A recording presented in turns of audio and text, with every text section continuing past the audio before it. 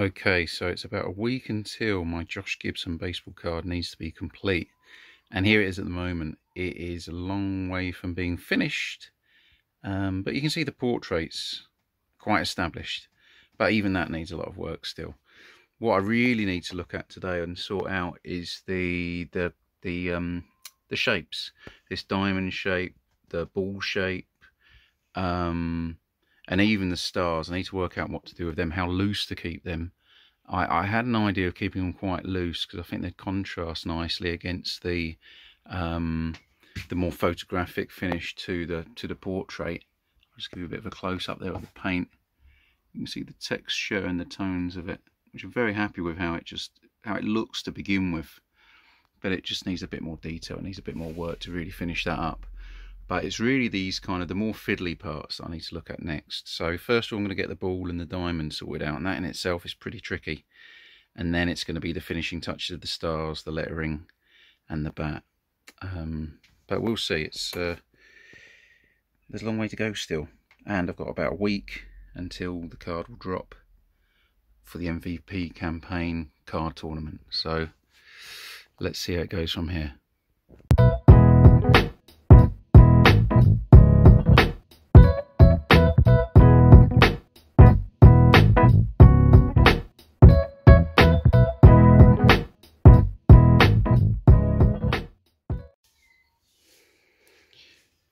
Just doing the diamond shape and I've used masking tape here. And then before I put the paint on you give it a sand along the edges of the of the tape so you get nice crisp crisp edges. So I'm just getting that sorted out I'll put the blue on and then we'll see how that see how that comes out. So here he is peering through the blue with the tape on I need to now take it off. And hopefully we'll have some nice a nice sharp diamond shape. Let's see. Okay.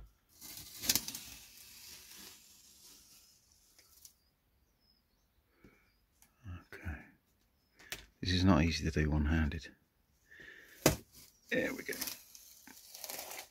There we go. Nice and sharp.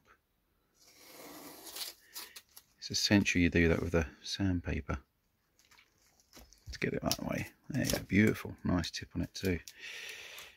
Okay, now let's get the inside. The edges I need, need to now sort out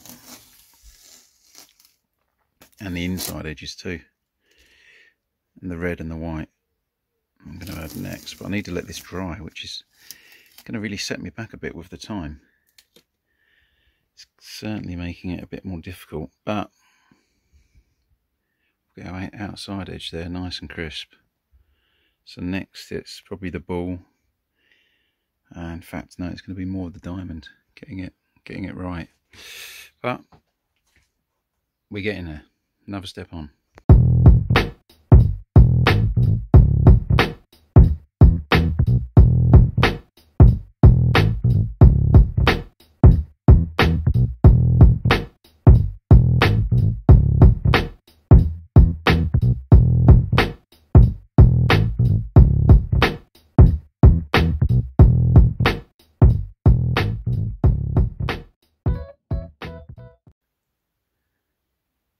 As is always the case with oils, I've got to probably now let it dry before I can do much else. Um, I've got the ball kind of in, the blue borders there, the red insides there. Got the bat sorted tonight as well. But I really need to get the lettering done, get the ball sorted out, what's going in beside the ball, the bottom of the bat too.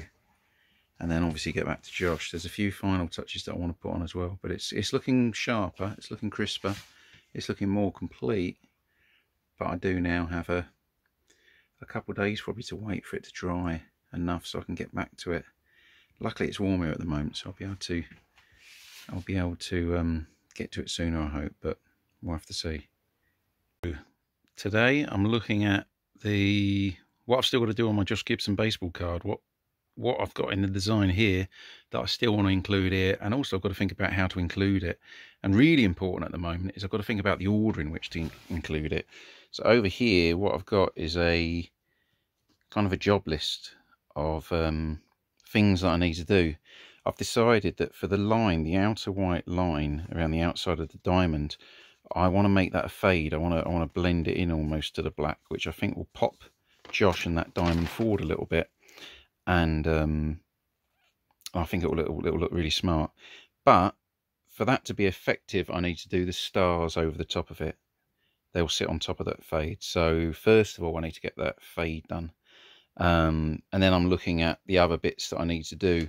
These ones I've said actually that I've got no order for them, but that's not really correct because there is going to be, there are going to be things which will overlap. So I've got to um, I do need to work out a bit more of the order of how I'm going to do things.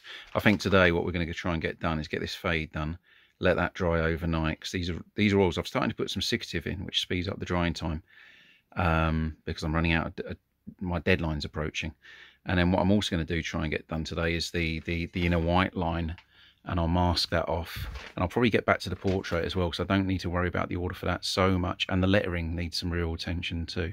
So I'm going to get on to things that I can do while it's um, while it's, it's it's a little dry from the things I did yesterday. So while I can get to that I'm just trying to plan my order. So I've got some sort of structure to the next few days getting this piece finished off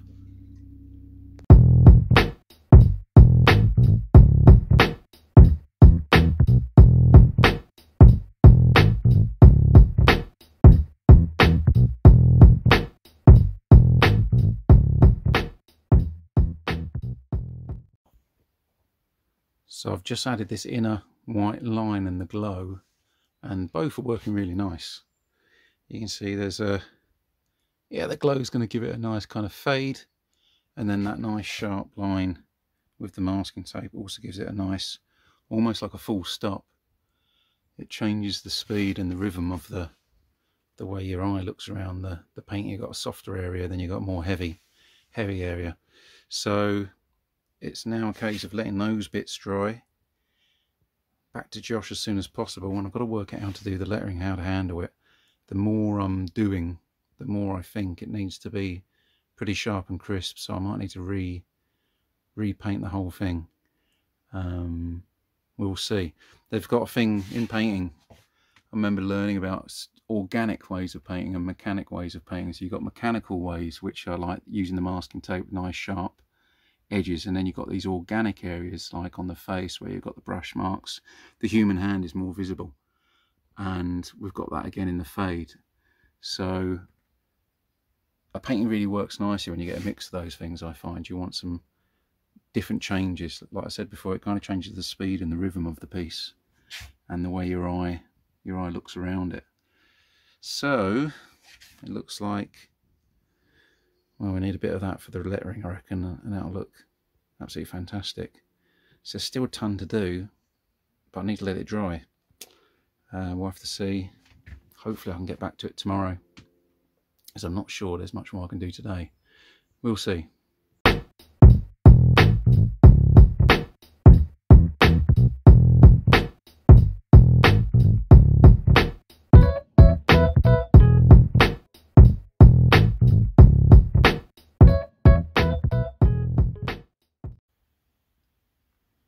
Welcome back everybody. It is about, it's less than a week before this has to be finished. Way less than a week to be honest. And it is, I've still got a way to go in it. But it's looking good. Yesterday we got this nice crisp white line trim on. We got the fade sorted out. Um, and we did a bit more on the portrait too. Um, the lettering is kind of next along with the ball. Uh, and I've got a big problem. The big problem is the stars. I wanted 12 stars. The problem I've got is that on this side, we've got six and six on this side. The cap covers up that one star. I've always known that was going to be a problem and kind of just try to ignore it. But unfortunately, it's still a problem. So I need to work out how I'm going to place the stars and how I'm going to deal with this part of the cap and whether I make the star come out behind it or it goes on top of it or whatever. But I think I'm going to have to do some drawing there and uh, on another piece of paper draw out the whole thing and kind of get an idea of what might look best. Tricky. But anyway, enough of this. Time to get on with the painting. So sure enough, what I've got to do here is carefully cut out the the um, the parts I want to paint. So I've got Josh's name up there. I've got the ball here. I've still got to work out the stars. The stars are a, a perpetual problem. Um, but I've just got myself some gold kind of chrome sp spray paint. And then this one, which is a bit more glittery, not quite as shiny. So I'm going to do a little bit of experimenting with them and work out which is going to be the best for definitely the name. The ball, I'm, I'm kind of thinking I might do that in, in nose as well, but we'll see. Um, yeah, that's what that's what we're up to at the minute. Let's see how it goes.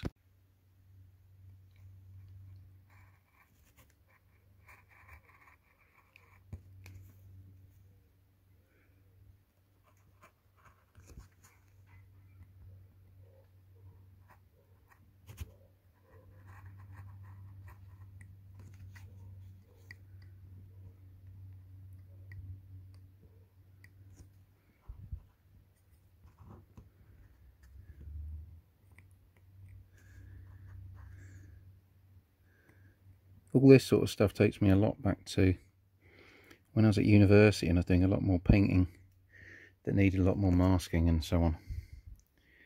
But you get these nice crisp, sharp edges, which should look great later. So Josh is under here. It's all masked off. I've got my stars in place. I've got the ball sorted and his name. And now I've just got to spray it and fingers crossed it all works absolutely fantastically first time. Let's see.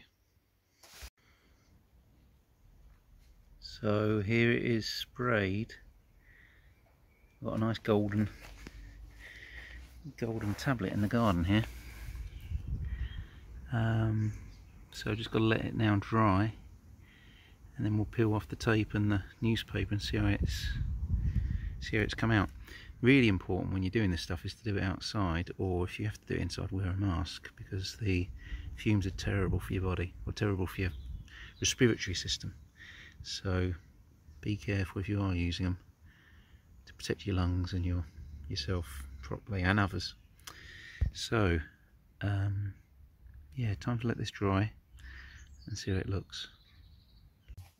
So it's time to take the masking tape off the painting and see if see if this has worked. Let's take it off and see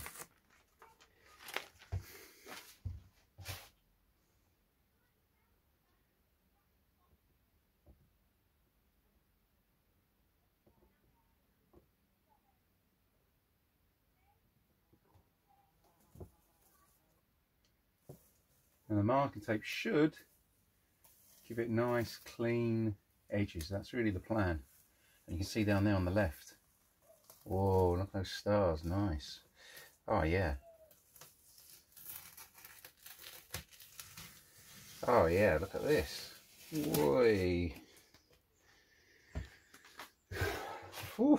I'm breathing a sigh of relief because it's been kind of, not a gamble, but I certainly you never quite know how it's going to go. And even this gold, just making sure But hey, look at that. Whoa, yeah. This is going to look good. This is going to look good. There's still last touches to do. I've still got a fair bit to do. Once these this is all off, finish up the portrait of Josh. Um, finish up the ball, there's a lot of edging little pieces that I need to edge and clean up. So I'll come back and do that. Wow look at that though yeah. Uh, oh, I'm quite pleased with this. Ah oh, the bottom of the back down here needs doing. Look at that that's looking pretty cool. We've got our 12 stars for his 12 titles Let's get a knife. Gonna get this knife, the scalpel, and get these little bits, these edged bits out.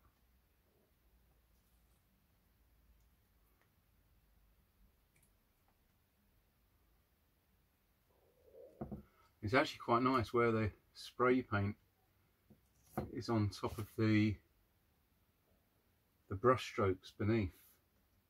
So you get the that kind of organic, the hand, the quality of the hand in the spray paint, but you get that nice, strong,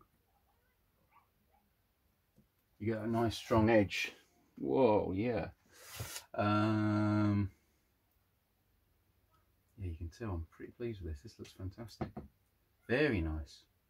It's taken absolutely ages to get the corners, get the edges, just get it planned. Like just the, the every step of the way working out how to do things. it takes quite a long time, to say the least. But I think so far it's worked very, very, very nicely.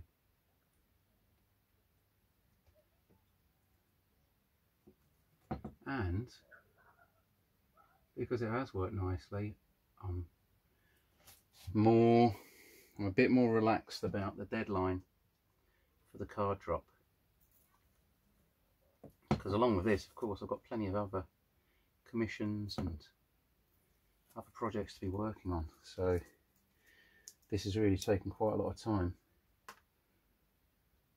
And I'm glad because I think the results speak for itself. But also, I do need to give my other projects some attention too. But there you go. Look how nice that looks. How they'll flash just like something you might get in a, a pack of Topps or top deck or upper deck is it you can see there how nicely it reflects it's even got the shiny edges I put the spray paint down, down the edges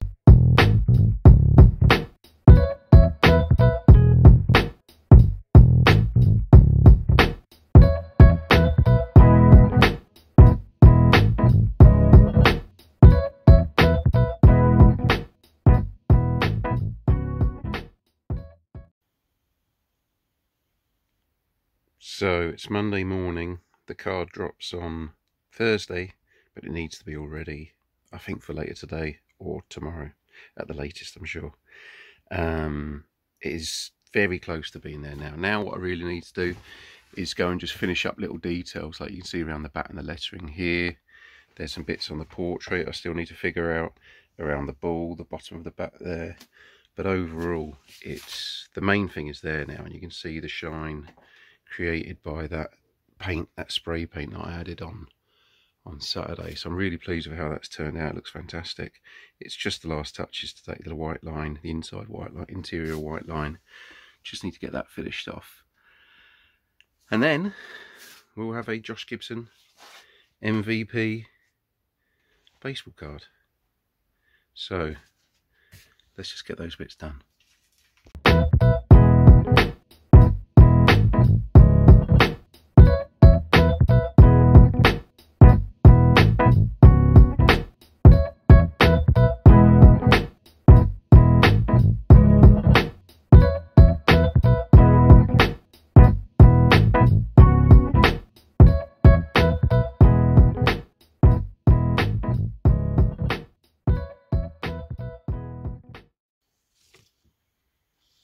Think I mentioned in an earlier video how uh, Buck Leonard and Josh were called the Thunder Twins or the Dynamite Twins um, when they both played for the Homestead Grays in the in the 1930s.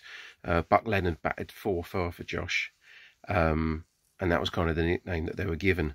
So as a little reference to that, I'm doing this design on Photoshop here of this Thunder Lightning Bolt and uh, Dynamite Stick, and what I'm going to do is be putting that into the background around Josh um, into these these spaces where the masking tape is though is what I'm going to be doing with it though is I'm going to be using glow in the dark paint phosphorescent paint which I tested on this uh, this painting I did many many years ago or didn't really ever finish but I tested it on here yesterday just to see how well it worked.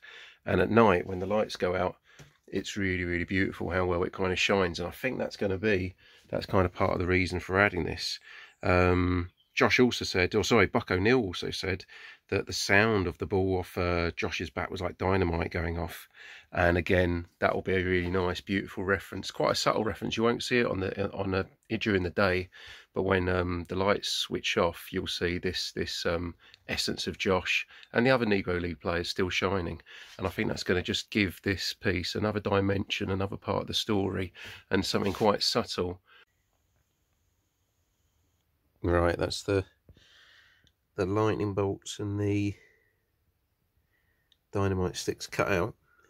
So now it's a little bit of this again, sandpaper, and then it's um, the glow in the dark paint. And then this piece should be all complete. So here we are, the final piece, the final Josh Gibson MVP uh, baseball card that I've been designing for the last month or so now. Um, it's come out absolutely superbly. I'm really, really, really happy with how every part of it has come along. And it's actually got better and better as it has gone along, despite all the challenges and problems and the, the things I had to decide on the way. Of course, this is where I started last month with my designs and my research. You can see in my earlier videos about all of those. And this is where I've ended up. And I'm very pleased with it, I have to say. Um, we've got all the elements. We've got plenty of elements in there which tell Josh's story, talk about the Negro Leagues, talk about the history. And um, and all there, of course, we've got Josh himself in his catcher's gear. We've got the diamond, which is coloured blue and red and white to represent all of the, the, the two different teams that Josh played for. Um, of course, just the shape of the diamond, I think, is always um, very important because it's you know this diamond. It's a precious a precious thing, something that's valuable. The fact that baseball is played on a diamond, I think, is always very very beautiful. We've got the gold, of course, precious metals, precious names, precious MVPs. Gold is the colour. We've got the the bull, we've got the four pennants that Josh won 1931, 35, 43, and 44. Um, we've got the 12 stars, um, 12 times All Star. We've got the the dynamite and the lightning bolts. As I mentioned in an earlier video, how Buck Leonard and Josh were known as the Dynamite Twins and the Thunder Twins. So we've got a nice reference to them. That is painted with glow-in-the-dark paint, so you can just about see it. Depending on the light, you can see those kind of now. But when you switch off the light, they will glow. And again, I think that's a really nice kind of... I'm very happy with this final piece, or the final uh, detail. As I feel like that even when the lights go out, even in the... Um, even in the dark times, you know, the history of these players, the the, the morals of, and the, the stories of these guys still shine on. And those are things that we shouldn't forget. And so I think that's got a really nice reference to Josh, to the Negro Leagues, to where he came from, and um, and a nice little thing that's seen during the light, but also in the dark times as well. Um, so I think that's about it. I mean, I think it's all there. I'm very happy with the composition, very happy with how the we've got that diagonal coming through the piece. Um, I think it's all just worked out absolutely perfect. So I'm very, very happy with it. Thanks for joining me in the journey and following my progress. And um, yeah, from here on, there's going to be prints available of it for a limited time. There is, of course, the originals going to be available. And if you would like a um, me to design you a baseball card for any player, then get in touch, let me know, and um, of course we can we can do something there. But for now, thank you very much for watching, and um, yeah, now let's get Josh onto the MVP trophy. So go to jg20mvp.com where you can register your your name on the petition. Thanks very much. Cheers.